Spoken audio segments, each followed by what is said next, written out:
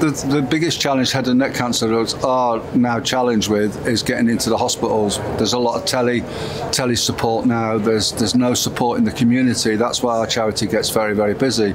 So the biggest challenge is is support once they go back into the community, because again the doctors, the local doctors, the local GPs are not seeing patients to what they should be, and some of the hospitals still are not seeing patients back into the hospital at the moment. So the challenge is is how do they know what they don't know? Is they can't ask questions. They don't know who to ask those questions to. They they're very lonely. They're very alone. The, the, the treatment is a massive impact on the ability to eat, communicate, and swallow and drink. So they get depressed. Once they get depressed, they go suicidal, and this is, they're doing all that on their own in the community. So the biggest challenge, from a charity point of view, supporting those patients also, is that we've lost a lot, 90% of our volunteers because they are now isolating and scared to come back into the volunteer sector.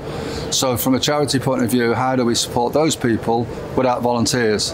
Every charity relies on volunteers, and volunteers at the moment are really like pieces of gold. If you get one, then you have to hold them and nourish them.